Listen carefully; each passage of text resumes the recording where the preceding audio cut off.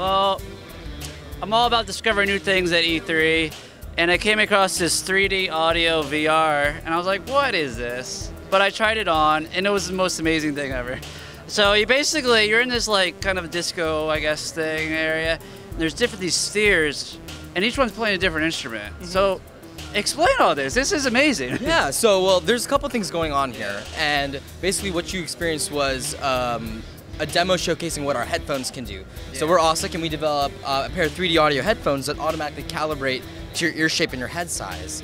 So when you hear sound in space, it's actually that physiology of your ears that determines where the sound is coming from. Oh wow. Yeah, so in real time, when you wore our headphones, they understood those features about your ears and your head size, which is why when you were in the experience, sounds actually sounded like they were coming from the place that they were supposed to be coming from. So then what this experience is, is actually, it's like kind of like this uh, music sandbox, this kind of, yeah. this place where you can kind of, so we, we actually took uh, Morgan Page, and some and he actually was kind enough to share with us some of his stems and um, you basically get to go in there and can place them into different places and kind of mix your song Yeah. in 3D. It was Yeah. cool because a lot of times I'll be like just hearing it going by, and it probably looked like I was doing really bad dance moves, but it was cool hearing like I had the bass going this way and the vocals going this way, Yeah. and then I would set them like around my head or I put them all around. It was so cool. So how does how does how does it get how does this make this, this thing? Like, do you have different audio tracks that like how, I don't know how the, the animation works for the VR thing with the audio Yeah, yeah. Well, I mean, so yeah, so each one of those instruments, so like obviously the producer, he, he he made the track and he's like, oh, here are the bells, here's the drums or whatever. And then we took each one of those things and uh, each one of those had a location when it was in the game engine. So we built, Okay. the, so I built this in Unity and each one of those those sounds had a place in Unity and then our processing was attached to each one of those th- those things. So we have a plugin that developers can use to integrate with our with our with um with our headphones.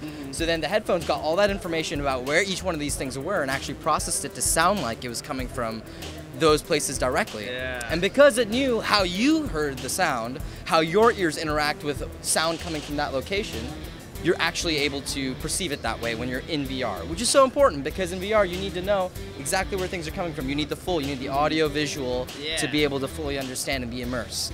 And Yeah. how many tracks are you allowed to have? Do you have like a full orchestra at some point, or? Yeah, I mean, we can we can spatialize up to 40, 50 sources like that. Wow. You know? Yeah, That's so. cool.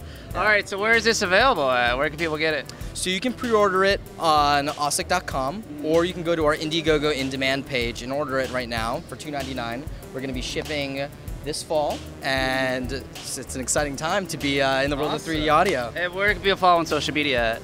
Uh, you can find us on Facebook and Twitter at OssicVR. All right. And yeah, and then we're also on Instagram as well under the same same username as well. All right, so go on support. If you're passionate about VR and music like I am, you got to have this. So, all right, thank you so much, man.